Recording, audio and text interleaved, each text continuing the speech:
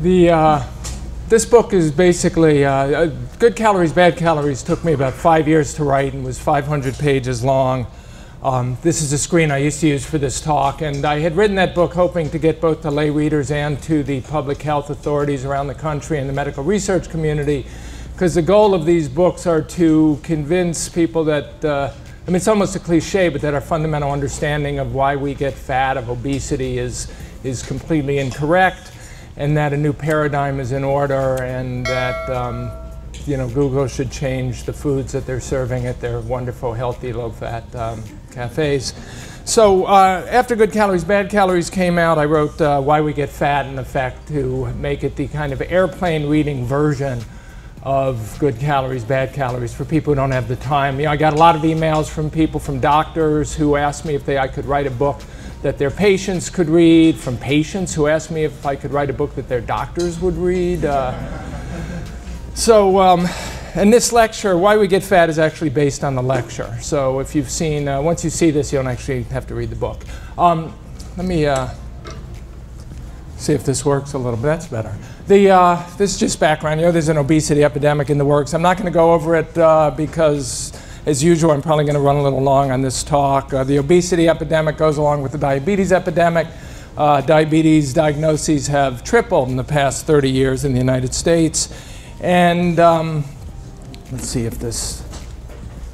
Uh, diabetes, uh, obesity are associated with a host of chronic diseases that are known as metabolic diseases, which include fatty liver disease, atherosclerosis, hypertension, stroke, cancer, asthma, sleep apnea, osteoarthritis, neurodegeneration. Actually, Alzheimer's disease is a disease that's now associated with, um, you know, what's called insulin resistance and obesity.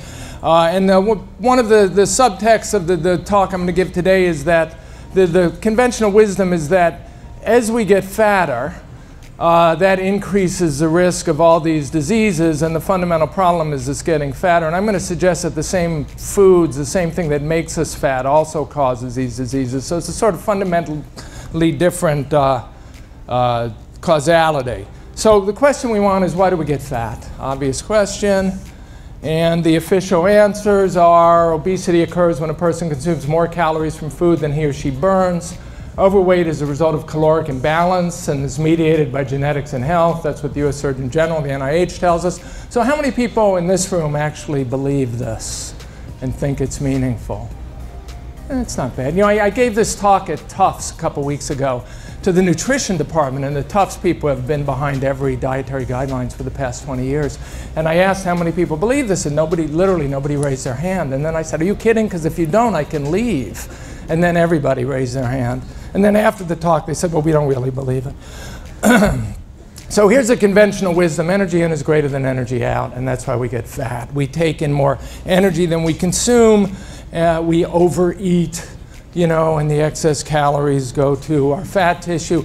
You hear about this, a lot of different ways that, you know, in the medical literature, they'll refer to overnutrition uh, positive energy balance is another way to phrase it. And often, virtually every article you read on obesity, they'll say obesity is a disorder of energy balance. And when they say that, what they mean is we take in more calories than we consume, and that's why we get fat.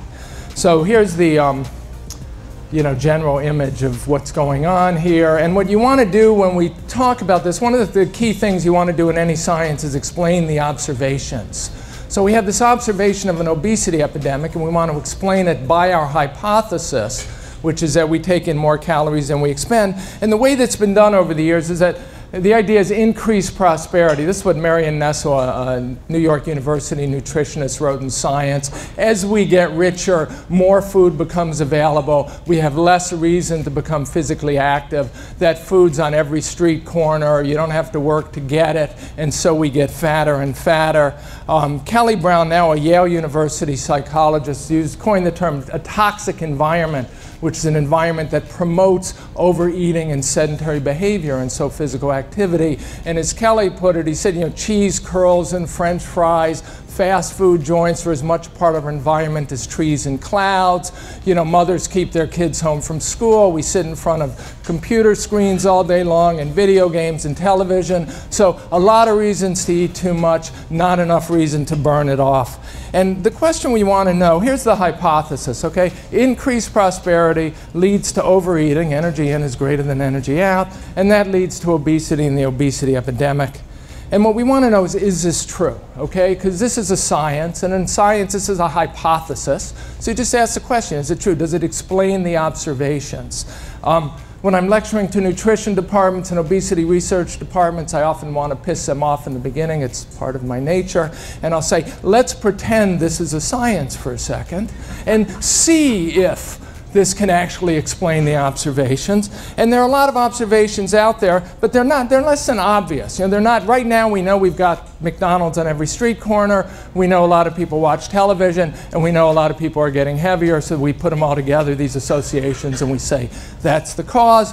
But we could, we could find populations that didn't have all these um, this toxic environment as we define it, and we could look to see if the obesity existed there. And one of the underlying contexts here, one of the, my under, the underlying hypotheses, also of any science underlying principles, is Occam's razor. So we should find the simplest possible hypothesis. So we're going to work from the hypothesis, so whatever makes any population fat is what makes our population fat until we have to change it. So here we have a photo. This young woman, or middle-aged woman, is, was known as Fat Louisa. This photo was taken in 1902. And Fat Louisa was a Pima Indian. The Pima live on the Gila River Reservation. Well, now it's the Gila River Reservation south of Phoenix, Arizona. What's little known about the Pima is today they are the poster children for obesity and diabetes in the United States because they have conceivably the highest risk of any population. In the 17th, 18th, 19th century, they were the most affluent Native American tribe. They were hunters and gatherers. They hunted in the nearby mountains. They fished in the Gila River. They raised sheep, not sheep, cattle, pigs. Um, they, um, uh, they, they, they had warehouses full of food available in the 1840s. When the first U.S. Army battalion moved through the, uh, the Pima Territory on the San Jose Trail, um, they reported that the, the Pima had this uh, you know, incredible amount of food available, and they were all lean and sprightly. And by 1849, uh, gold was discovered in California, and over the next 20 years, from 20 to 60,000 um, 49ers went west through the Pima territory, and the U.S. government asked the Pima to feed them, which they did, and protect them from the hostile tribes farther west. And then by the 1870s, 1880s, Mexican Americans and Anglo Americans started moving into the Pima territory and they overhunted the nearby mountains. They diverted the Gila River water to irrigate their own fields. And the Pima went into what they called the, the years of famine, which lasted for 20 or 30 years. And by 1902, when Frank Russell, a Harvard anthropologist, came to live with the Pima and wrote the um, the uh, uh, seminal text on the Pima Indians, they were living on a reservation. They were struggling as farmers to survive. And it was, um, it was Russell who took the photo of, uh, of Fat Louise on the right. And he said, many old people in the tribe, unlike the sort of classical image of the strong, you know, buff Native American, many old people in the tribe were actually obese and overweight. And this was an observation that was seconded a few years later by Alex Hrdlicka who was the uh, physician anthropologist who went on to become the curator of the Smithsonian Department of Physical Anthropology. So the point about the Pima was that they went from being affluent in the 1840s, that drawing was actually made in 1851, to poor in 1902, and they went through 30 years of famine in the middle. And 30 years of famine you could think of as 30 years of being on a diet. And they should have been leaner, right? Because our hypothesis says if poverty leading to prosperity causes obesity, not prosperity leading to poverty. And yet, in the early 19th century, we have a high level of obesity observed by two separate anthropologists living with the tribe. Um, if this was the only example, we could probably toss it and assume something else was going on. But there are a lot of examples of obesity in um, what we would call non-toxic environments. And one of the things that sort of pissed me off doing my research for good calories, bad calories, which took five years, is you only had to go to look for them to find them. And yet the obesity research community hadn't bothered. because they had settled on their hypothesis. It's all about overeating, it's all about taking too many calories, it's all about fast food joints. And so they never looked. If you go look, you'll find a lot of different populations. Um, Sioux on the South Dakota Crow Creek Reservation in 1928. This was a study done by two University of Chicago economists, and the uh, this, this population was so poor that you could use it, you could put it in the dictionary next to the definition of dirt poor. You know, they lived four to eight people per room. Uh, something like 15 families with 32 children on the reservation were living only on bread and coffee. um, they had bath, you know, ba there were no bathrooms, there's no plumbing, you had to get water from the river. Um, and yet, 40% of the women, 25% of the men, and 10% of the children were distinctly fat. And 20% of the women, 25% of the men, and 25% of the children were distinctly thin. And there were definite signs of malnutrition on the, um, you know, these economists documented all kinds of deficiency diseases among these, uh, these, these Native Americans. And this combination of obesity and malnutrition or undernutrition existing in the same population is an is a, observation I'm going to come back to shortly. Uh, many times, in fact. Okay, Africans Americans in Charleston, South Carolina in 1959, 30% of the women are obese, 18% of the men. Family incomes were 9 to $53 a week. That's less than $400 a week in 2011 dollars. Zulus in Durban, South Africa in 1960, 40% of the women are obese. Women in their 40s averaged 175 pounds. Today in the United States, the average weight for adult women is around 165 pounds. Trinidad, early 60s. Trinidad is having a malnutrition, a famine crisis. The US government sends a team of nutritionists down to help out, and they come back reporting that a third of women over 25 are obese they report obesity is a potentially serious medical problem in women, okay? The per capita data, the next year, an MIT nutritionist goes down to, to Trinidad to figure out what's going on. She studies the diet of the obese women, compares it to the diets of the lean women in Trinidad, and concludes that the per capita daily diet was less than 2,000 calories a day, okay? 21% fat fewer calories than were recommended at the time by the Food and Agriculture Organization for a, for a, healthy, uh, a healthy diet. Bantu pensioners in South Africa in the mid 60s, these are the poorest of a disenfranchised population. 30% of the women are severely overweight, and the mean weight of women over 60 is 165 pounds. Rarotonga in the South Pacific, 40% of the women are obese, 25% are greatly obese, grossly obese. This is 1971. And then factory workers in Chile in 1974, 30% are obese, nearly 50% of the women over 54 obese, 10% suffer undernourishment. Okay, so there's that combination again of obesity and malnutrition in the same population. And most are engaged in heavy labor. So, you know, these are factory workers. They probably don't belong to a gym. They probably don't have gyms in their factory in Chile in the 70s. They're not working out regularly. They're not training for marathons. They're probably not doing triathlons. But they're engaged in heavy labor, heavy manual physical labor. So we could assume on a day to day basis they are more physically active than we are. And yet 30% are obese and, and uh, nearly 50%, half of them over 54. And here's the last study I'll show you. This is Mexican Americans in Starr County, Texas in 1981. 50% um, of the women in their 50s are obese. 40% of the men in their 40s. And the living conditions, most inhabitants are employed in agricultural labor and work in the oil field. So again, a very physically active population, you know, but high levels of obesity. And there was one restaurant in Starr County, Texas in 1981. Starr County is on the border of, of Mexico, about 200 miles due south of San Antonio and that was a Mexican restaurant. So again, this definition, there's no increased prosperity for many of these populations. There's no prosperity at all. There's no toxic environment as we would define it today, but something's making them fat, and we want to know what. Why were these populations fat? So we can figure out why these populations were fat. We can probably figure out why our populations are getting fatter.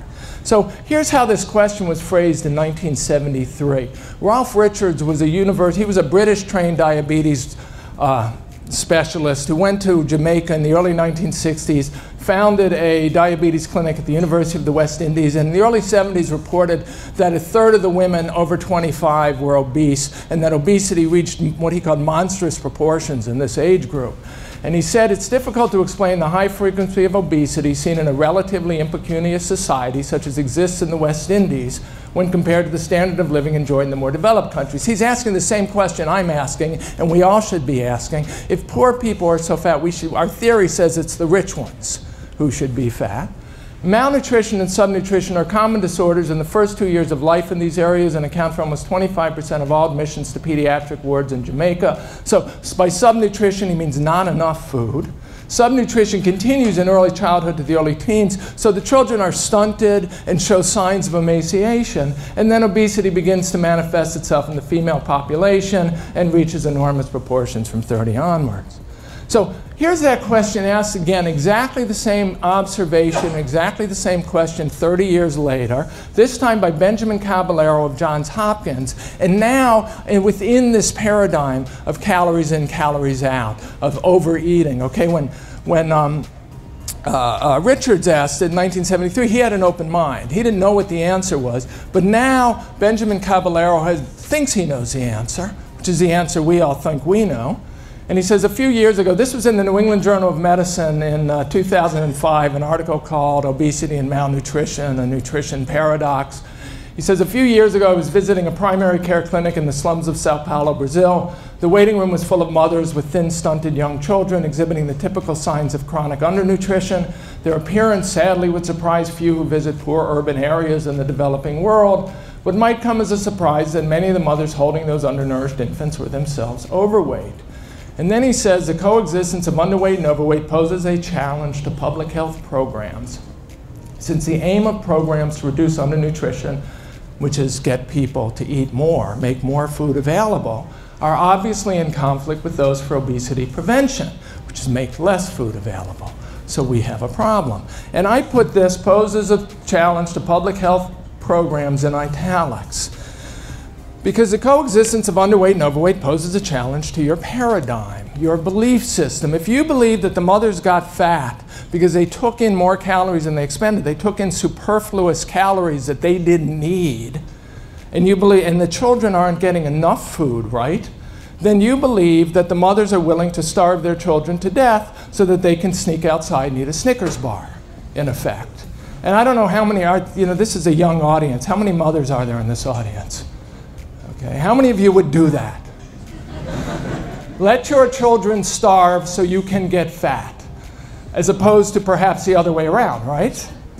Um, so you've got two paradigms colliding. We've got our paradigm of maternal behavior that says populate, you know, uh, species don't survive unless the mothers make sacrifices for their children. And we have the paradigm of obesity that says these mothers are just happily guzzling excess calories while they're watching their kids starve to death. And they, you know, this is an anomalous observation. I used I started my career writing about high energy physics, and high energy physics, you know, they've just built this the Large Hadron Collider at CERN that costs I forget how many billions of dollars, all designed to just create an observation that their theory can't explain so they can proceed onward. Here we've had this observation going back prior to 1928 at least, and nobody cares. And my point is you have to throw out one of the two paradigms. And I'm going to throw out the obesity paradigm because my mother, may she rest in peace, would have killed me if I threw out the maternal behavior paradigm. Um, Let's look at some other inconvenient observations, okay? Eating less doesn't work. You know, our hypothesis is that if we eat more, if we take in more calories than we expend, we will gain weight. So the idea is if you take in less calories than you expend, you'll lose weight. Um, all you have to do is create what's called negative energy balance. So you go on a semi-restricted uh, calorie diet, and uh, you know, there are a lot of meta-analyses over the years, system, systematic reviews showing how poorly these work.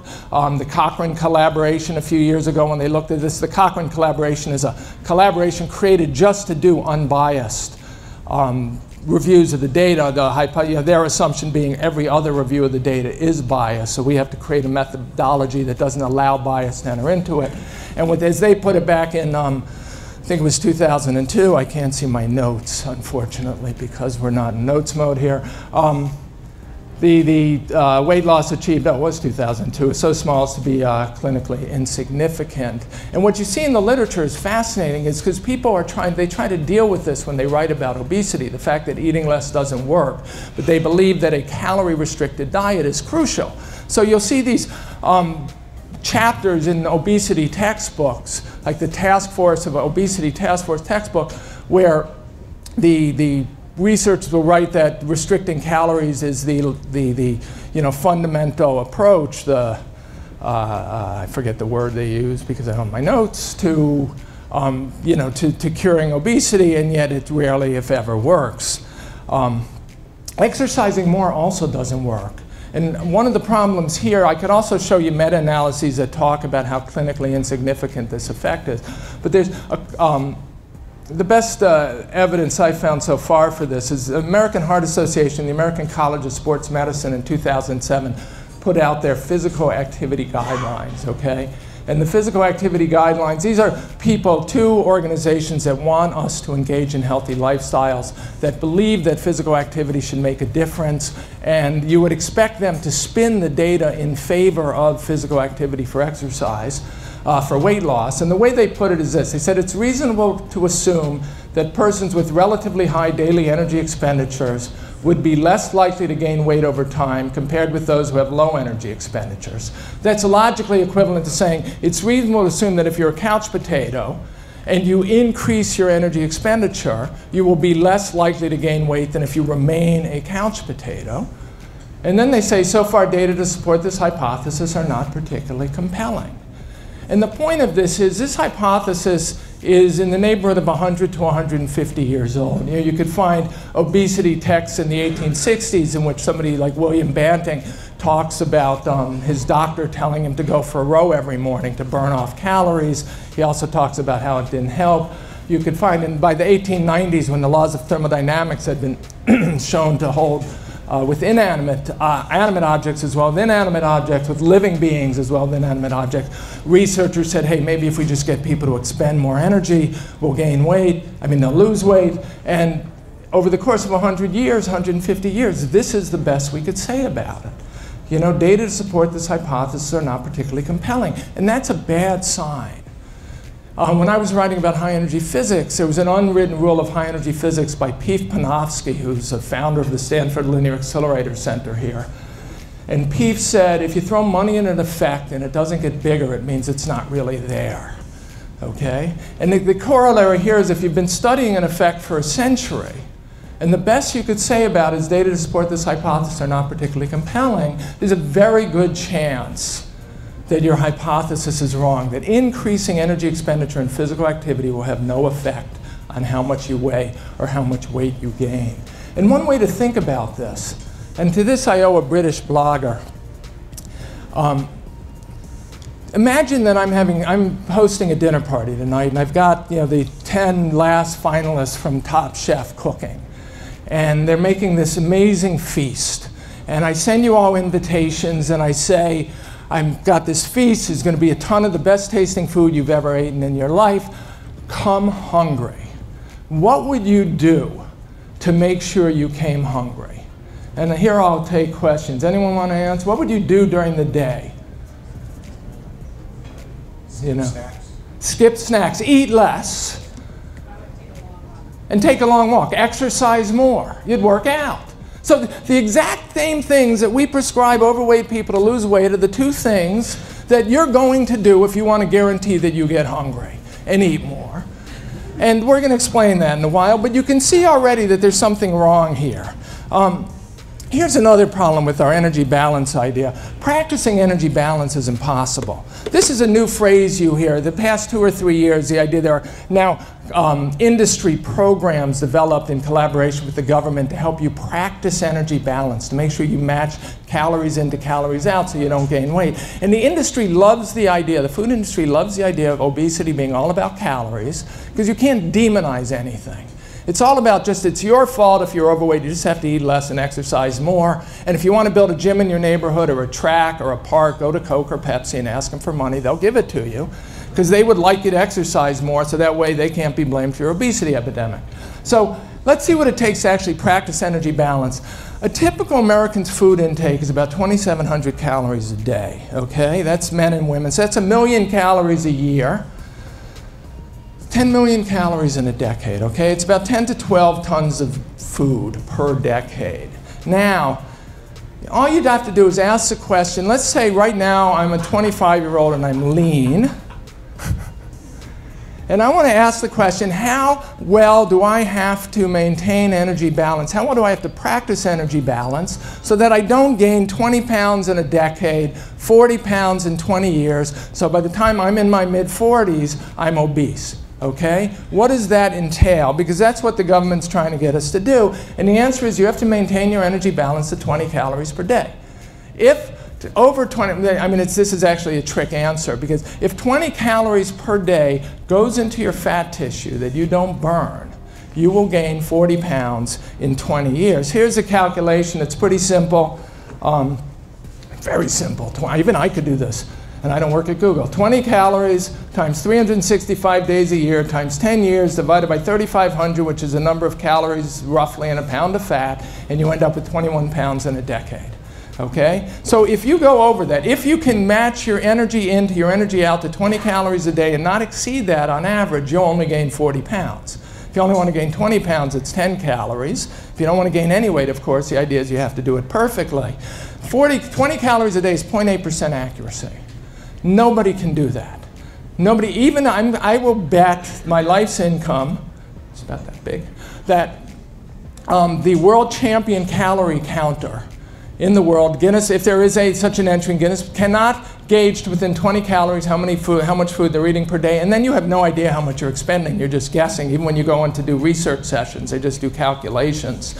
So, um, you know, the point here is I got this calculation from a 1937 nutrition and metabolism textbook written by a fellow named Eugene Dubois, who was a leading expert on metabolism in the United States pre-World War II. And Dubois used this calculation. He said, what's interesting about it is since nobody can do that, how do we maintain our weights? The question isn't why are some of us fat? The question should be why aren't all of us fat? Okay, because if you overshoot by even 20 calories a day on average, you're going to end up getting obese. And you know, you can say, okay, maybe one way to do it is I just, um, you know, I watch my weight, I look in the mirror, I see I'm getting fatter, my belt's getting snug, or my pants, or my, you know, skirt doesn't fit, so therefore I'm going to eat less for a while until I get my weight back. So you oscillate around perfect energy balance. But then you have to ask the question, how do animals do it? because they don't. They're not looking in the mirror. They don't have clothes they're putting on. So how do they maintain their weight? And virtually all animals do. They don't get chronically obese. So the idea that Dubois says obviously something else is going on here other than consciously matching calories into calories out, which none of us can do. So let's look at some other um, inconvenient observations. Uh, Genetics is one of them. I got to apologize now. If you go to an obesity textbook today, you will not see photos of naked human beings. But if you go to an obesity textbook pre-World War II, you would because those researchers, those clinicians, thought you could learn a lot about watching how people fatten, as well as just whether they do or not. And one of the things I'm doing now is just channeling these pre-World War II researchers. And in fact, all I'm saying in my books is I'm taking the theory that German and Austrian researchers developed pre-World War II, back when the Germans and Austrians did the best medical research in the, United, in the world, and there was virtually no meaningful medical research being done in the United States. And I'm taking that theory and I'm updating it, okay? Because they didn't survive the war, that community didn't survive the war. So for starters, here's genetics. Here's a pair of, uh, and this comes from a 1940 textbook. Um, Here's a pair of lean identical twins. Here's a pair of obese identical twins. Our overeating hypothesis might explain why these women are fatter than these women. These took in too many calories, and these practice perfect energy balance. But what about this combination? Why do they have the same body type? And why do they have the same body type? It's been known since the 1930s that obesity has a strong genetic component. Identical twins, it's not just their faces that look alike, their body types are the same too. So what's going on here? What do these genes determine? Do they determine exactly how much these women, how many forkfuls of food these women overate over, you know, 20, 30, 40 years, and exactly how long they sat on the couch versus going for a walk? Or did they determine something else about how much and where they accumulated fat? Because they have the identical body. Um, here's a different variation of it, animal husbandry, and it's even easier to see here what I'm talking about. Um, you know, uh, farmers, uh, livestock breeders have been breeding more or less fatty cows, pigs, sheep for, for centuries probably.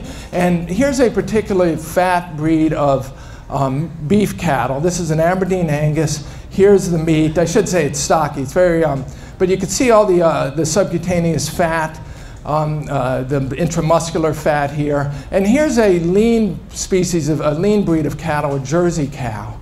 And you could see the ribs showing, you can see the swollen udder, it's definitely a dairy cow. And you could ask yourself simply, you know, they're different breeds, so obviously different genes are determining how much they get fat. What exactly is going on here? What are these genes determining? Do they determine how much these animals eat and exercise? Do they determine how many, you know, calories per graze or per bite of grass this cow takes. Or, you know, the Aberdeen Angus grazes for 12 hours, the Jersey only grazes for 10 a day. Does it, does a Jersey like want to go for to, to, work out? So when you know the old Far Side cartoon, when it gets dark at night, the Jersey goes for jog. The Aberdeen Angus goes in and watches television, and it's obviously absurd.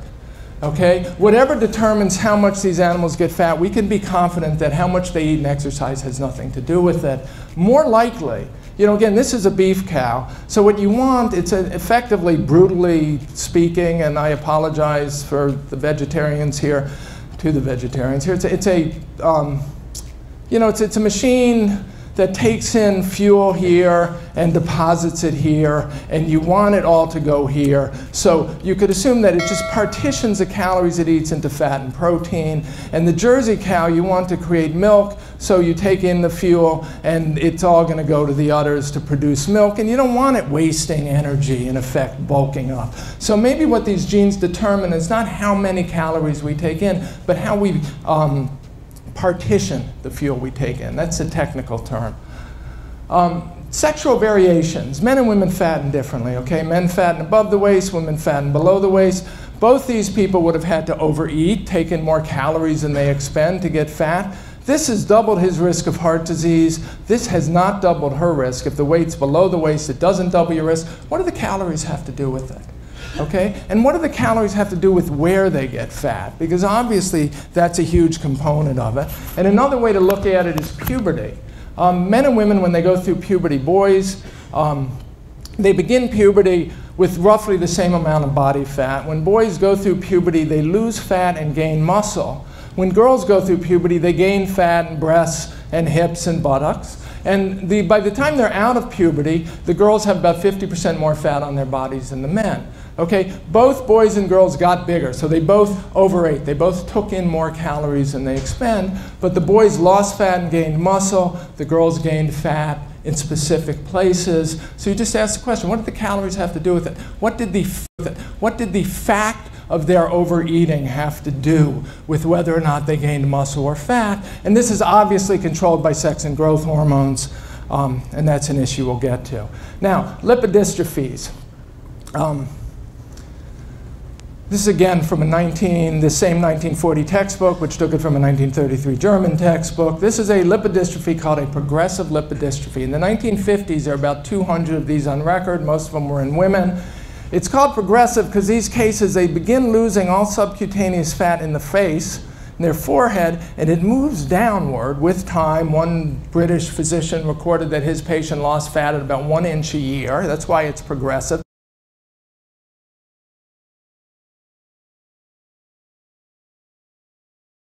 And then it usually stops above the hips, and then they often get this lower body localized obesity below the waist. So the way these Europeans asked it, they said, are we going to blame the top half on undereating and the bottom half on overeating, right? And this is, again, obviously absurd. It's like a Gedanken experiment. But if this woman had 10 pounds more fat on her upper body, maybe even 5 pounds, just to smooth out her curves, her BMI was about 32 already just because of her lower body obesity. And she went into the doctor then. The doctor wouldn't recognize the lipodystrophy. And he would just say, look, you know, eat less and exercise more. And the point that the Europeans are making is if you can't explain the localized conditions by undereating and overeating. Why would you even think to explain the generalized obesity by overeating? Or in those cases, often these textbooks pre-World War II were titled Obesity and Leanness because they were looking at cases that today we would call anorexia and assuming that that also wasn't an undereating problem, it was some problem of how the fat tissue was regulated. So why do we believe this? And let's look at a little physics here, okay? And this is the reason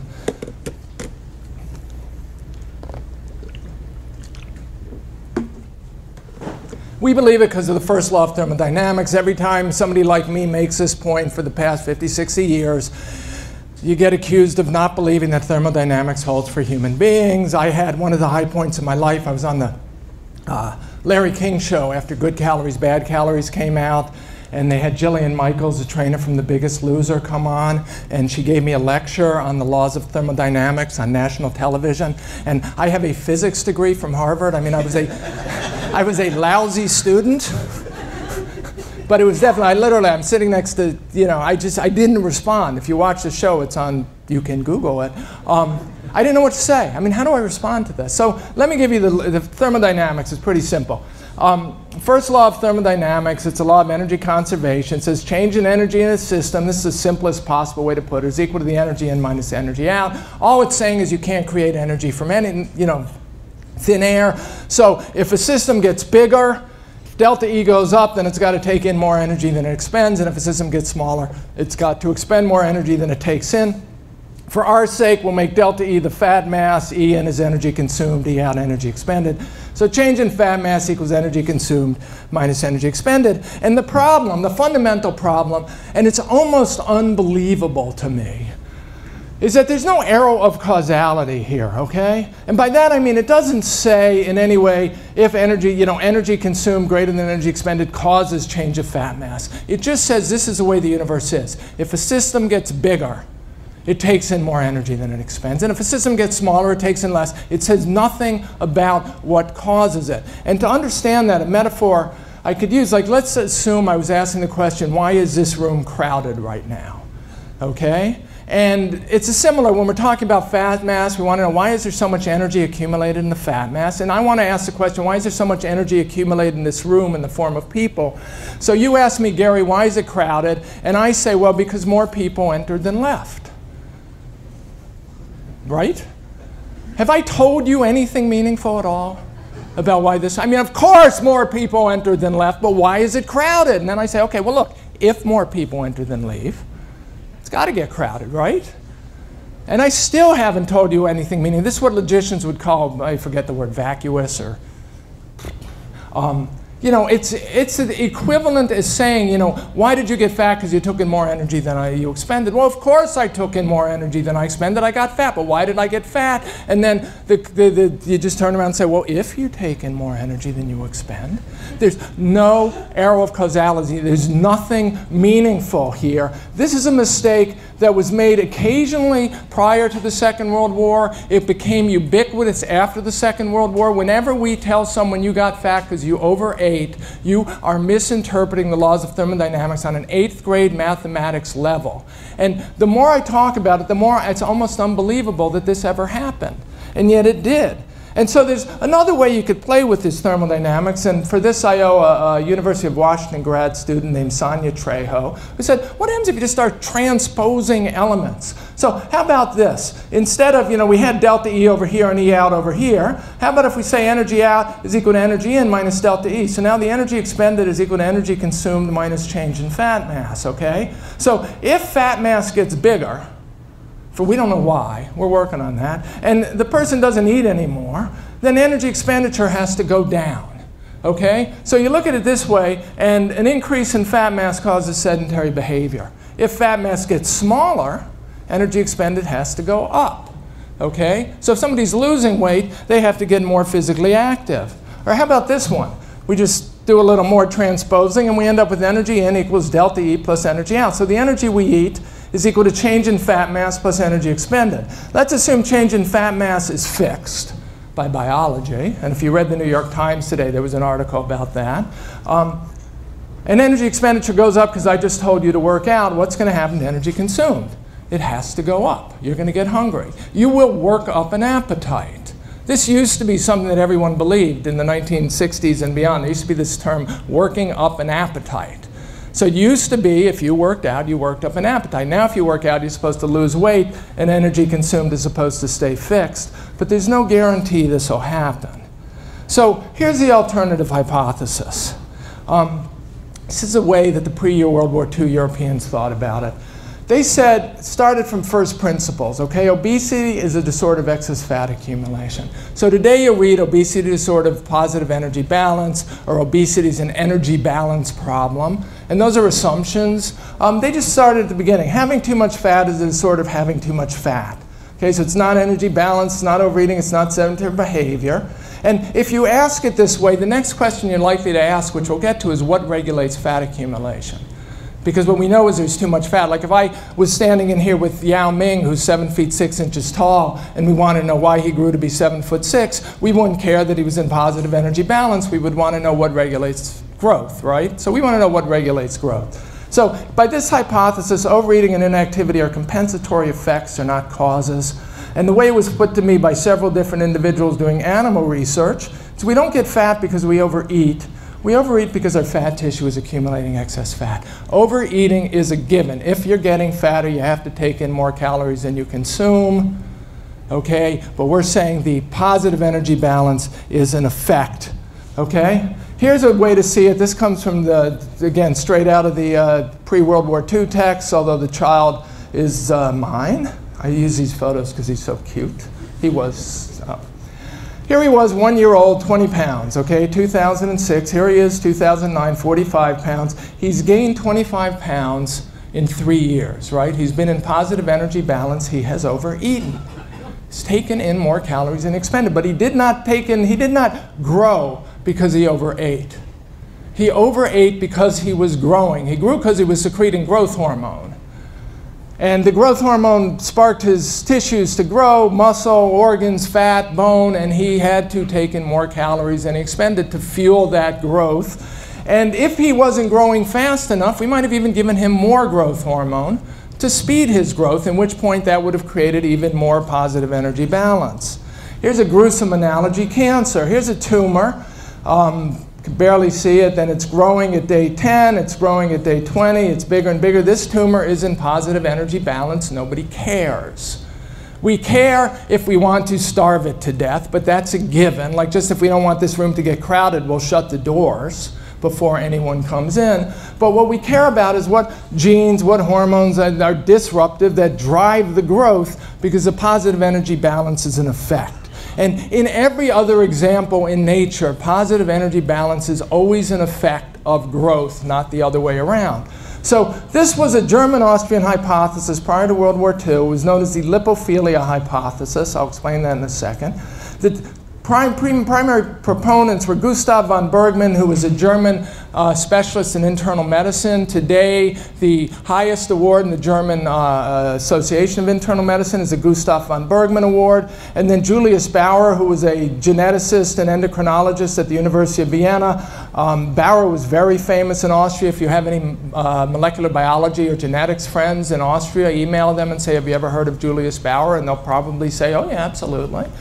And the theory was more or less fully accepted in Europe by 1940. This comes from the 1940 textbook, and the problem was 1940 was a bad year for Europe. So the German and Austrian medical research communities evaporate. Unlike in physics, where we um, we uh, uh, embraced all the European physicists who got chased out of Europe because we had atomic bombs to build and hydrogen bombs and a Cold War to fight. In medicine and public health, we didn't. So Julius Bauer ended up working in Hollywood, California for the Hospital of Medical Evangelists and publishing articles that just said Julius Bauer, Hollywood, California. And nobody took his work seriously, although his son became dean of the USC Medical School. So here's lipophilia in a nutshell. The idea is um, lipophilia means love of fat. And the way these people saw it is that some tissues are more or less predisposed to accumulate fat in the same way that, uh, you know, you can think of it, we grow hair in some places and not in others. And we get fat in some places and not in others. So we don't tend to get fat on our foreheads or the back of our hands, but we put on fat in our guts, under our chins. Um, and so they said maybe you know, fat is just like hair. And so some people are hairier than others, just like some people are fatter than others. You know, when men start losing their hair, we don't accuse them of undereating because they're losing weight. We know that there's, you know, a lot of different issues involved. So Bauer put it like this. He said, like a malignant tumor like the fetus, the uterus, or the breast of a pregnant woman, the abnormal lipophilic tissue seizes on foodstuffs, even in the case of undernutrition. It maintains its stock and may increase it independent of the requirements of the organism. Sort of anarchy exists. The adipose tissue lives for itself and does not fit into the precisely regulated management of the organism. And this phrase, even in the case of undernutrition, begins to tell us why these women could get obese in a population where their children are starving, because it didn't matter how little food there was. If there was something driving their accumulation of fat, they were going to get fat anyway. So when you look at animal models of obesity, which you can, what you'll find, what I found, was they, they all fall into two categories. Either, um, well, let me just explain. If you have an animal model of obesity, how do you want to test what's driving it? Like a genetic model, a, a surgical model, you could uh, uh, uh, lesion the ventromedial hypothalamus for rat and it'll get obese and eat voraciously. So you'll see voracious eating and obesity and you want to know which causes which. Did the dysregulation of fat tissue cause what's called hyperphagia or did the hyperphagia cause the accumulation of fat? So what you do is you just do the experiment and then you put the animals on a diet and you see whether they get fat anyway okay? And what you'll find for every animal model of obesity is they will get obese anyway, even if you put them on a diet. You know, you can in some cases starve out, like um, uh, there's a genetic strain of mice that uh, MRC Greenwood studied in the early 1980s where she put these uh, animals on a diet from the moment they were weaned, and they became more obese, they became fatter than their lean control, than their, their um, genetic controls, even though they were on a diet their whole life. They actually weighed less their organs were smaller, their muscle tissue was smaller, and they had more fat. In effect, their drive to accumulate fat was, um, you know, in order to do that, they cannibalized their organs and their brain. Um, and Jean Mayer, a Tufts nutritionist who played a large role in this, usually to the detriment of society, um, the way he put it, he studied a genetic strain of mice. He said these mice will make fat out of their food under the most unlikely circumstances, even when half starved. Okay? So it's not that these mice got fat because they ate too much. They got fat if you let them eat anything, basically.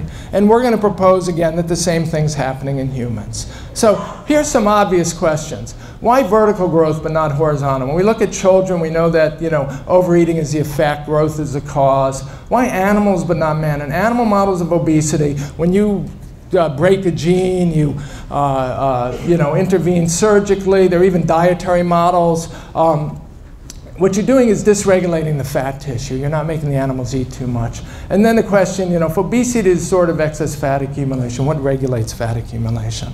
So here's a regulation of fat, adiposity 101. If you learn this, you'll know more than your doctors do. By the way, what gets me is that, again, it's 2011. I, I lecture in medical schools, I lecture at obesity research centers, and I'm telling them, it's like I'm telling them something new. I mean, they all learned this in medical school, but they forgot it. But when it comes to the relevance of obesity, or why we get fat, the idea that your fat tissue is regulated and has anything to say about this is considered radical and quackish. Okay? And the point I'm making is, you know, any other growth problem. Like I said, from cancer to height to anything, all you're going to care about is what hormones, what enzymes are driving growth. So let's care about it here too. And what you learn is fat is stored as triglycerides in your fat tissue. Here's a triglyceride. It's three fatty acids bound together by a glycerol molecule. Fatty acids are burned for fuel, and the fat enters and exits the cell as these fatty acids. And the reason that is, is because the triglycerides themselves are too big to fit in and out of the fat, to get through the cell membrane of the fat tissue. So the fatty acids enter the fat tissue, and then they're bound together inside the fat tissue into triglyceride. And as a triglyceride, it's fixed in the fat tissue. It's that simple. It's too big to get it out. And if you want to get it out, you have to break it down into component parts again so the fatty acids can get out. So it's a sort of very simple mechanism for storing fat here it is in a, in a diagram. Here's fatty acids outside the cell. They pass through the fat cell membrane. Inside the cell, there's this triglyceride fatty acid cycle. So the fatty acids are bound to an activated glycerol molecule, and you have a triglyceride. And as a triglyceride, they're fixed in the fat cell. And then they break down. Um, there's a hormone, several hormones, a primary one called hormone sensitive lipase, which breaks down the triglycerides into the fatty acids, and then they could escape again. So here's where we care about energy in minus energy out. You will get fatter if more fat enters your fat tissue than leaves it. And you will get leaner if more fatty acids leave your fat tissue than enter it. And what we want to know is what determines this balance of fatty acids going in versus fatty acids going out. It's that simple, okay? So here it is circa 2010. I could have used the same diagram from the mid-1960s because this was figured out by the mid-1960s. Unfortunately, the Germans and Austrians weren't around by then. We required two technologies to do it, a way to measure fatty acids in the bloodstream, a way to measure hormones accurately. By 1960, it was done. And by 1961, it was clear that insulin, the hormone insulin, is a principal regulator of fat metabolism. This is Rosalind Yalow and Solomon Berson who invented the radioimmunoassay for measuring hormones. Yalow won the Nobel Prize for it. Berson had died by then. And you could see when it comes to white fat tissue, here's fat storage, Here's fat mobilization, tag is triglycerides, and so you just ask, you know, the little pluses show that it upregulates it. And the only hormone this particular author is interested in in metabolic regulation is insulin. It upregulates here, it upregulates there, it upregulates here, it upregulates here. It down, it suppresses fat mobilization. And then there's some role from other hormones in increasing fat mobilization. But it's basically insulin that puts fat in the fat tissue, and it's insulin that suppresses fat mobilization. Here it's putting fat in, here it's putting fat in, here it's suppressing it. And release of fatty acids, as Yalow and Berson said, from fat cells requires only the negative stimulus of insulin deficiency. So if you want to get insulin, if you want to get fat out of your fat tissue, you have to lower your insulin levels. That's the fundamental thing that uh, the, the Adiposity 101 tells you. So um, and what's funny, it's been known for like 50 years that insulin is a fat-producing hormone. This is uh, best and best of the Banting and Best who discovered insulin. The fact that insulin increases the formation of fat has been obvious ever since the first emaciated dog or diabetic patient demonstrated a fine pad of fat tissue made as a result of treatment with the hormone. Um, this is um, insulin and fat storage. This is a 2001 textbook, Endocrinology 101. And here's a young woman who basically, she was diagnosed with type 1 diabetes when she was uh, something like 17 years old. And for the next 47 years, she injected herself with her insulin in two spots on her thighs, and she ended up with these huge fat masses. And this picture in the textbook, the caption is the overall action of insulin on the adipocyte, the fat cell, is to stimulate fat storage and inhibit mobilization. That's the remarkable effects of locally injected insulin on the accumulation of fat into fat cells are graphically illustrated here. That's what happens when you raise insulin levels. So here's the bottom line. When insulin is secreted or chronically elevated, fat accumulates in the fat tissue. When insulin levels drop, fat escapes from the fat tissue and the fat depots shrink. And we secrete insulin primarily in response to the carbohydrates in our diet. Okay?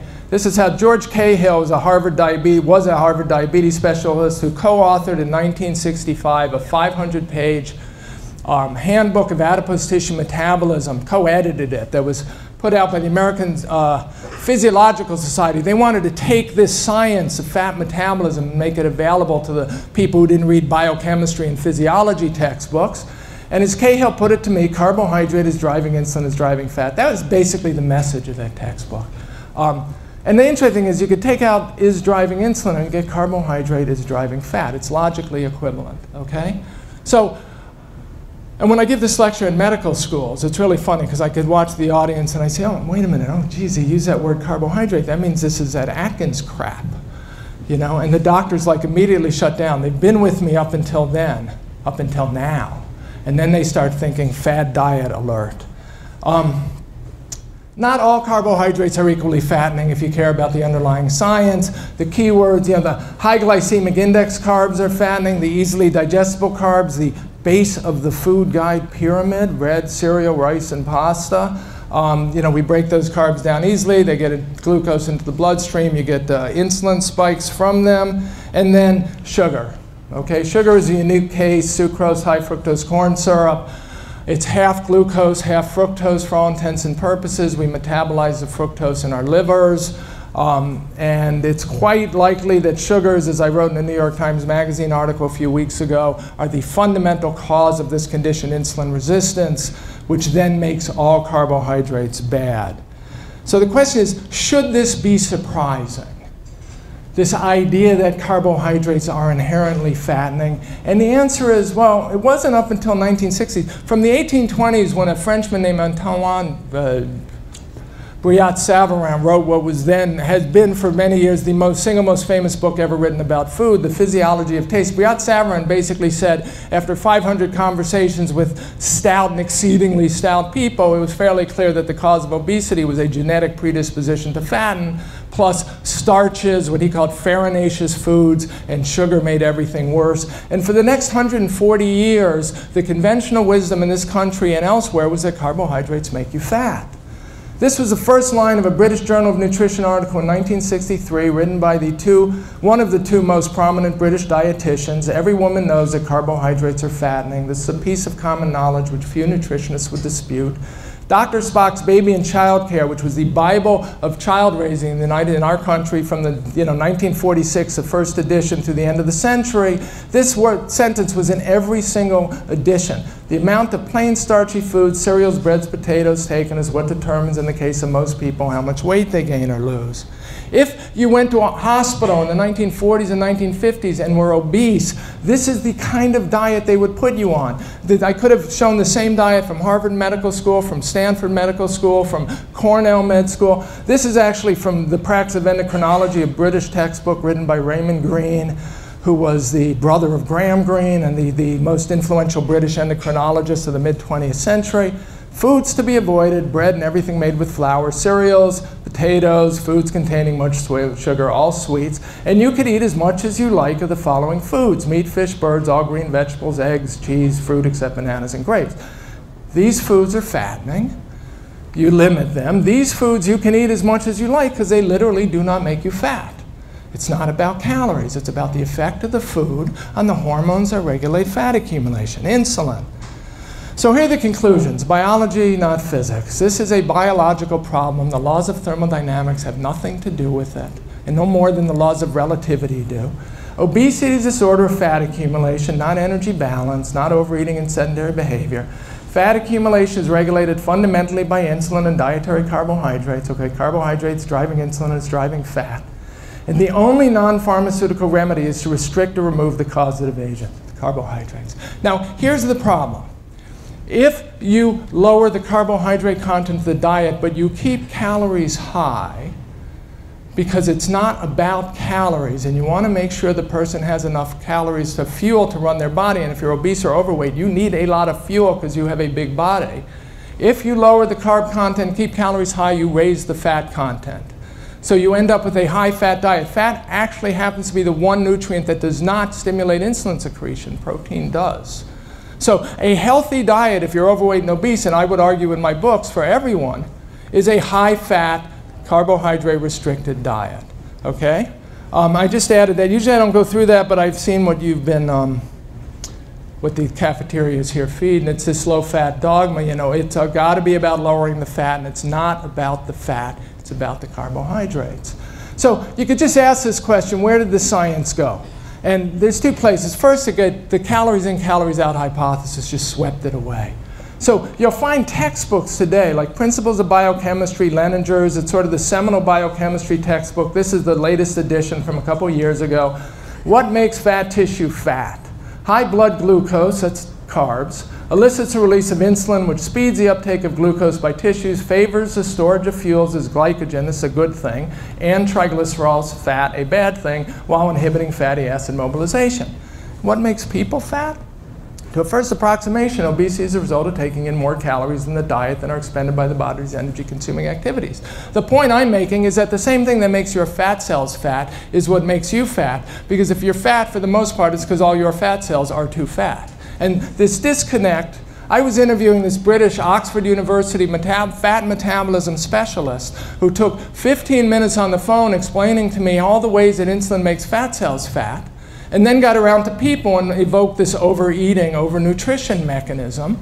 And the point I made was, why did you suddenly, you switched mechanisms?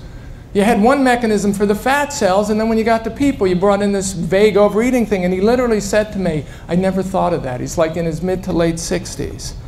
Um, here's the other thing that happened. In the 1960s, we started to believe that dietary fat causes heart disease. So when dietary fat causes heart disease, remember I just told you that a carb-restricted diet is a high-fat diet. And so the same year that the American Physiological Society put out its high-fat diet, its, its, its uh, uh, handbook of adipose tissue metabolism saying carbohydrates drive insulin, drive fat, it's you know, the simplified eight-word version of a 500-page text, the New York Times was already panning carbohydrate low-carb diets. New diet decried by nutritionists, dangers are seen in low carbohydrate intake. Some of the nation's top nutrition experts are concerned with the new popularity of the low carb reducing diet, which one of them calls nonsense, because you don't have to restrict calories, because it's not about calories. And another compares to mass murder. This is Jean Mayer, who was the most influential nutritionist in the country, went on to become president of Tufts University. Mass murder because you're giving people a high fat diet. So the science says carbohydrates driving insulin is driving fat, cut the carbs out. The nutritionists are saying, you can't do that, you're going to kill people. And that's how we've seen it ever since. And you get to the point by the you know, 1980s where you end up with the food guide pyramid because we believe fats are fattening and we believe red meat causes colon cancer or God knows what. Um, we're going to tell an entire nation to eat bread, cereal, rice, pasta. And Sweets, weirdly enough, get a free pass because they're non-fattening. So Coke, Pepsi, you know, SoBe iced teas, Snapples. There was actually a theory in the 1980s you could drink as much, you could eat as much, uh, any food you want if it didn't have fat in it, because if it didn't have fat in it, you couldn't put fat on. So um, just to wrap up, I've already gone too long, as I always do. I started off asking the question, why were these populations fat? Ralph Richards in 1973. Most third world countries have a high carbohydrate intake as their economic dependence is predominantly agricultural, with a heavy dependence on non-dairy produces. It is conceivable that the ready availability of starch in preference to animal protein, contributing as a must the main caloric requirements of these populations, leads to increased lipogenesis and the development of obesity. In this country, we took the conventional wisdom that carbohydrates make you fat and over the course of 20 years, from the 1960s to the 1980s, turned it into the conventional wisdom that you grew up with, that carbohydrates are heart-healthy diet foods, and it's the fat that makes you fat. And that's why there's an obesity epidemic. I mean, surely the sugar and high fructose corn syrup didn't help. And that's why we all have trouble struggling our, with our weight, because the approach we use to cure it, eat less, exercise more, and eat low-fat diets, is exactly the wrong thing. Um, basic question is, I'll phrase it the way it's usually phrased, what about those Southeast Asians who live on low-fat, high-carb diets and don't get fat? And one of the fundamental issues here, and actually this is partially why I wrote the sugar story in the New York Times a couple weeks ago, basically in the beginning I showed you populations that ate high-carb diets that were very poor and were fat. And then there are populations, the Japanese, the Koreans, the Chinese, elsewhere, the Kitavans who eat high-carb diets and aren't fat. And what's the difference, or is it not the carbohydrates? And again, what I'm saying is the high glycemic, high refined carbs and the sugars. And if you look at the populations that don't get fat, they, have, they eat effectively very little sugar. So the Japanese, for instance, in the 1960s were eating the amount of sugar that we were eating in the 1860s. Um, the Kitavans eat virtually no sugar. The Kata, you know, the, the, the way the research will talk about is these, kind of, these nations don't have sweet tooths, sweet teeth. So my answer would be, and this is one of the reasons why I believe it may be necessary, sugar may be necessary to trigger this. And that's what the, the biochemistry, the, the science suggests today. And once sugar's in the diet, all things. You know, one of the interesting things, uh, one of the suggestions I made in the New York Times Magazine article was that sugar could actually be the fundamental cause of cancer.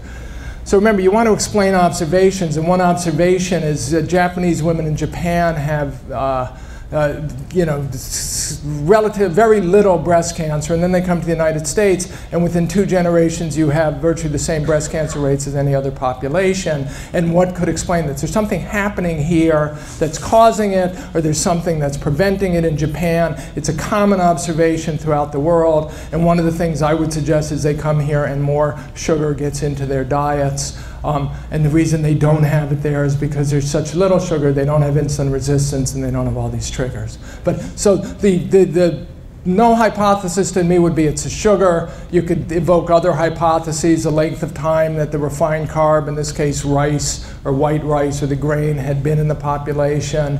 Um, but the sugar is the thing that, that, that would seem the most obvious.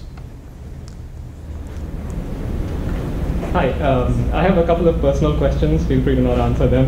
Um, one is, do you follow this diet that you recommend? Yeah. And what is your waist size in inches? my waist size in inches? Well, the question is see, this is always one of the mistakes people make in life. I mean, I, am okay here, okay? Basically, I have the same body I had when I was in college. I was a defensive tackle at Harvard. I was a bad one. Um, actually, I'm 20 pounds less than I was then, but when you're trying to be a defensive lineman, you're trying to be as heavy as you can. Um, it is actually not important how big I am on my diet. What would be important is how much bigger I would be if I added carbohydrates back into the diet. That would be the relevant. Like I am never, I could starve myself. Actually, my good example is my brother. My brother's a professor of mathematics at Harvard. He's a very smart guy. He was always lean and I was always thick. He was always, you could see when he was seven, you could see his muscles and his veins, and you could see my pot belly. And when we grew up, we both ate all the food we could. As a matter of fact, we ate as fast as we could because if I didn't eat fast, he'd eat it first. He was more physically active. Well, he wasn't. He could run longer distances. I could starve myself to death and never look like my brother. I will die of starvation before I am as lean as my brother is because we are physiological. We, are, we partition fuel differently. But the question is, what would happen if I added carbs back to my diet? Would my waist size be bigger? Right now I'm six foot two, 220 pounds. My waist size is probably 35. When I was in college, I was six foot two, 220 pounds, actually, and my waist size was 35. In between, I was heavier. Never had the diff- never likely to be obese, although because I'm a big guy, my BMI could go over 30. So, um, you know, for me, well, it might kill me. That's the question. The question is not whether I'm heavy or lighter. The question is, am I going to die sooner because I eat a lot of saturated fat? And one thing I don't have time to do in this lecture, I do in another lecture if you actually look at the clinical trials which compare high-fat diets to low-fat diets. Uh, the way these have been done over the past decade is basically putting people, randomizing people to an Atkins diet, which is high fat, high saturated fat, eat as much as you want, and a low fat American Heart Association low calorie restricted diet. So one diet, you cut fat, you cut saturated fat, you cut calories. So you're eating like you know, skinless chicken breast and lettuce. And the other diet, you can eat as much as you want. So you're eating, you know, eggs and bacon for breakfast and, you know, meat and double cheeseburgers without the bun and the sort of iconic Atkins thing. And nobody really sticks these diets the way they should, but when the trials are done, what you find is not only the people on the high fat diet, ad libitum, eat as much as you like diet, way less, even though they're told they could eat as much as they want, their heart disease risk factors profiles improve. And this is what actually got me into this subject. When I was writing a story for the New York Times Magazine in 2002, I found five of these trials that had been done and not yet published yet. And again, if we say, let's pretend this is a science, you know, we have a hypothesis. We have two of them. One of them is that saturated fat causes heart disease, and one of them is that if you eat more, you'll get fat. So now I'm going to put you on a diet that says you can eat as much as you want and as much saturated fat as you want, and I recommend you do it. Our hypothesis predicts that you will gain weight and get heart disease. And instead, what happened in these trials is these people lose weight and their heart disease risk factors improve. Across the board, everything improves. Okay? So the question then becomes maybe our hypothesis is wrong.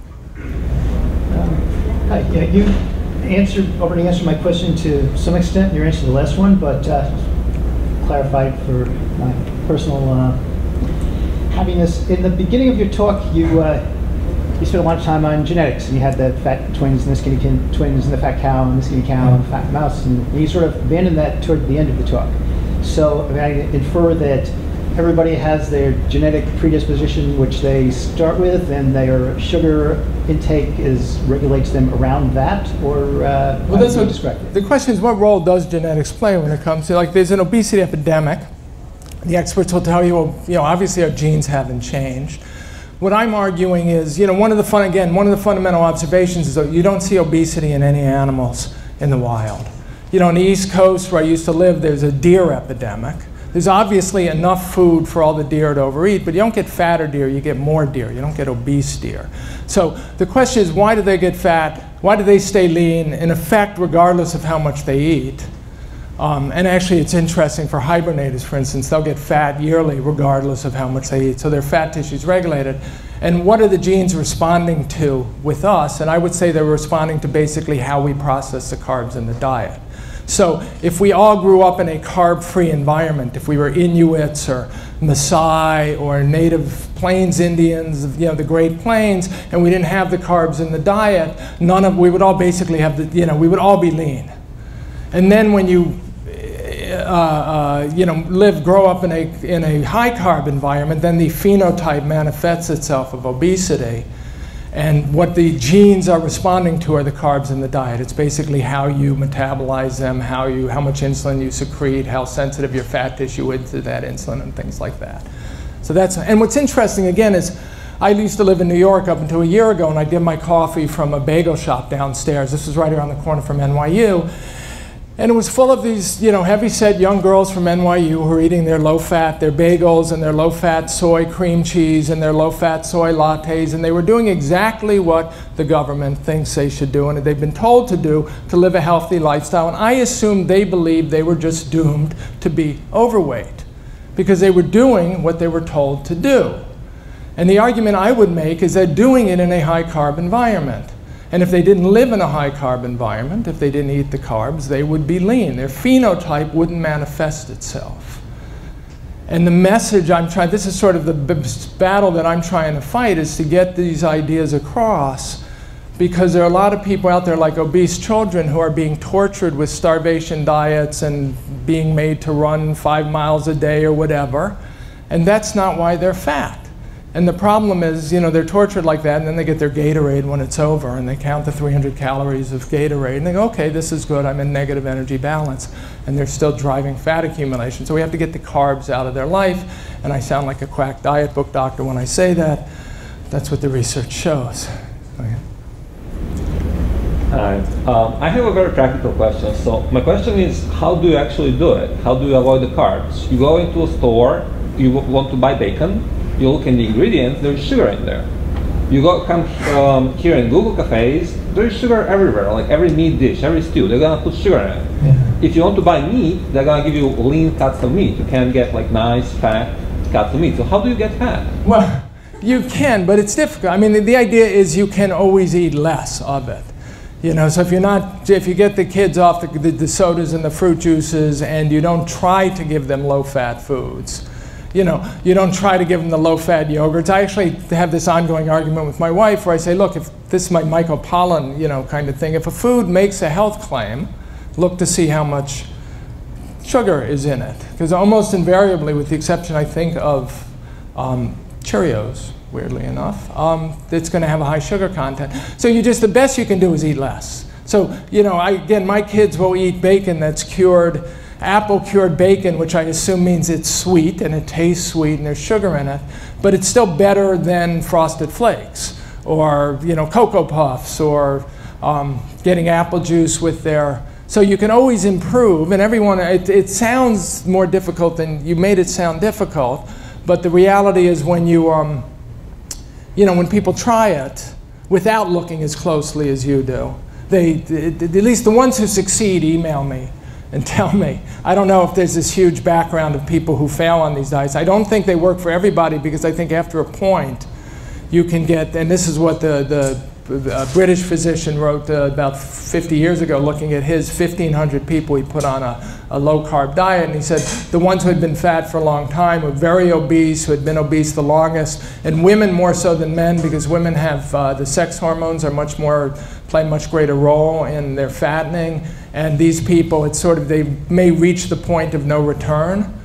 But again, the argument I'm making is that if you look at the heart disease risk factors and other profiles, I recently had to post on my blog my own you know, lipid profile, which I got measured, because people wanted to know if I appeared to be killing myself, and I'm not by standard measures anyway.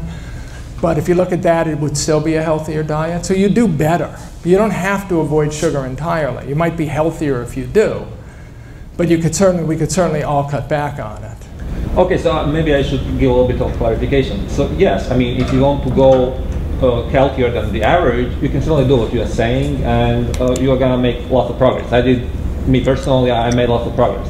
But you know, if you want to go to the next step, and if you want to like really completely cut the sugar out and be like really healthy, how do you practically do it? Well, you, first of all, you stop working in an office. See, I work at home, so I can control it. I live in Berkeley. I'm sure you have it here. So we have you know these gourmet butchers from you know farms that raise their animals humanely and don't put sugar in things. And you know, again, I, am just a journalist. I'm do, I can't solve every problem. I'm trying to fight this particular battle, and then I hope that if I make some progress and the other people out there fighting this battle make some progress and maybe you know the whole society will move into a point where it will get easier.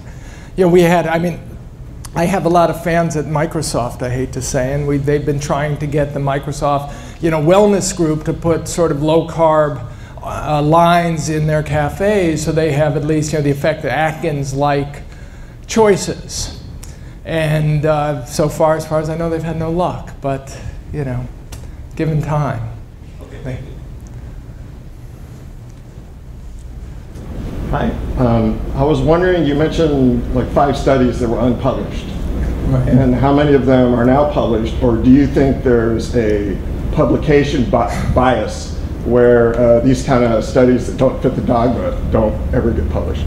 Um, actually, they virtually have all been published um, that I know of. Uh, probably several dozen studies published. I mean, the results are always the same. People on these diets, they lose more weight, they're Triglycerides go down more, their HDL goes up more, you know, everything gets better. And it's basically the metabolic syndrome, insulin resistance resolves. It goes away and should go away if I'm right because it's pretty obviously caused by the carbs in the diet. There are publication biases. For instance, people who go in believing that it's all about calories will interpret their data to make it all about calories, even if they publish that the you know, Atkins group does better than the American Heart Association group. Um, there are people who own, there are now like low carb journals out there, the nutrition, Journal of Nutrition and Metabolism. So some people will do, there's a great study done on type 2 diabetes at Duke University where most of the subjects were able to get off their diabetes medications. This is supposedly an irreversible disease. And the author, the first author, only sent it to the Journal of Nutrition and Metabolism, where it would basically be read by the converted, because he didn't want to deal with all the flack he would get trying to publish it in the mainline journal. So there are definitely biases. But if you do these studies now, I think you almost have you, the, you there's a, a clinical trials website where you have to register them. And part of the reason for that is to make sure that people don't only publish positive results. So they pretty much all get published, but they do get spun. And often the spin takes over, you know, one, the biggest study ever done came out of it was Pennsylvania, UPenn, Colorado, and University of Cincinnati, and they put you know 300 subjects on an Atkins diet in effect and an American Heart Association diet, and they referred to it as a low carb versus a low fat diet. This is a classic way to do it. But the low fat diet is calorie restricted. So when you're told to go on the low-fat diet, you're told to eat, you know, 14, 1500 calories a day, basically semi-starve yourself. And when you go on the low carb diet, you're told to eat um, as much as you want. Just don't eat carbohydrates. And you know, one of the lessons I learned writing about physics is it's absolutely crucial to define your terms carefully so people know what they've done, what you've done, and can replicate it. And so you're not, in effect, trying to fool people. And if I was writing that study, it would say low fat, low calorie versus low carb ad libitum. Ad libitum means eat as much as you want. And I would always use those terms because you never want to forget that one group is low calorie and one group is ad libitum. Because that also suggests, in this case, they got essentially the same weight loss. The Atkins group did better on heart disease risk factors, but the weight loss was virtually the same. And you want people to remember that one group is being semi-starved and one group isn't, because that's evidence that it's not about the calories. Okay? And they just didn't do it. They mentioned it in their methodology, that the low fat group was calorie restricted, and then they ignored it. And the, the title was low fat versus low carb. And the papers picked it up, low fat versus low carb, and they left out the crucial ingredient, which is one diet restricts calories and the other diet doesn't, which is the ingredient that tells you your paradigm might be wrong. Okay. I'm just wondering if any of your research, um, you came across any connections between um, people who drop the carbohydrates, but coincidentally, they're also dropping the trans fats because most of the carbohydrates we purchase commercially are coupled with trans fats, which tend to be the oh. worst fats for you in terms of heart disease risk. You know, it's funny because I would always argue it the other way. To me, the evidence that trans fats are bad comes from mostly from observational studies where you compare people who eat a lot of trans fats to people who eat very little, like the nurses' health studies. What they're doing is they're, when you think who eats a lot of trans fats and who doesn't, you're comparing, in effect, people who buy a lot of processed foods and fast foods to people who cook most of their meals for themselves. You can, but you're also, but the point is that, the, as you put it, the processed foods come with the carbs. I don't, the trans fat data just doesn't wow me. I mean, it is true if you give up the carbs, you're going to have to give up the trans fats. But remember all those populations I talked about in the beginning, like the Trinidadians, the Sioux, Native American Sioux, they would not have been getting trans fats. So we don't know what their heart disease risk was. But we know that they weren't getting margarine, they weren't getting, you know, there wasn't a food industry forcing trans fats on them. So it's quite likely, you know, the obvious, again, the null hypothesis would be the carb content of the diet. And then my second question is that there are populations that tend not to eat meat, like India. You know, right. so many vegetarians. They get their proteins mainly from legumes. So what is your take on the glycemic index of, of legumes and other non-meat sources of proteins for people who aren't really eating meat? Well, I do think, again, the, the argument I make in the book, like the book is called Why We Get Fat, not how to lose weight. And the reason I call it Why We Get Fat is I want to make this argument that it's literally about the carbs, uh, high glycemic index carbs, doesn't, you know, the legumes are lower glycemic index, green vegetables are low glycemic index, and the sugars. And anyone can improve their diet if they just remove the sugars and the flour, white flour, and it's to some extent what we call whole wheat flour in the United States. And actually, even um, you know, in the, the, one of the observations that I wrote about in Good Calories, Bad Calories, as early as 1907, the British Medical Association had a, um, a meeting in which they had a you know, discussion about the diabetes problem in India because diabetes was rampant. They said it's actually worse among the vegetarian sects. Um, probably because they were also eating the most sugar, which they suggested in 1907. But, you know, you can improve the diet by removing the fat and carbohydrates regardless, is the point I'm. But if someone is very predisposed to get fat, if someone's 300 pounds, you know, I would argue that you have to get, basically, they're not going to get enough calories. That they, the, the easiest, the, the way to maximize calories and minimize carbs is with animal products. And so that's the problem. So if these people, you know, they could improve on a vegetarian diet, and I get emails all the day from people telling me how much they lost just giving up sugars. Um, I don't think that's enough.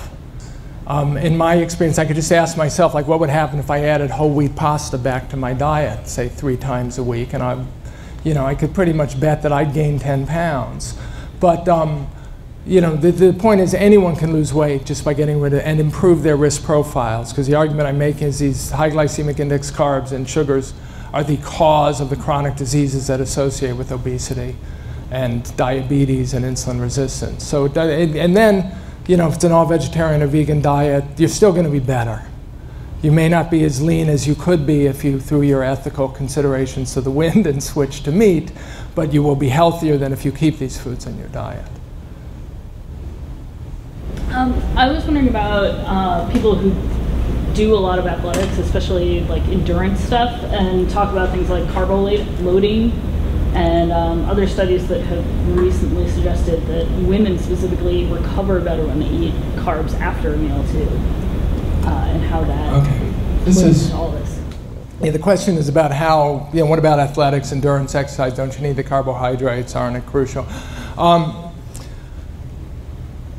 this is not my area of expertise, okay, and I was not an endurance athlete, but in the late 1970s, early 1980s, there was some research done at the University of Vermont by a fellow named Steve Phinney, who's now an emeritus uh, professor of nutrition at UC Davis, and he put professional bike racers on ketogenic diets. And it takes about three weeks to what's called keto adopt, where you adopt completely to the, the complete lack of carbs in the diet, in effect. And the bottom line was they did fine. They lost a little bit of their sprinting ability, but they lost a lot of their, they lost none of their, you know, endurance.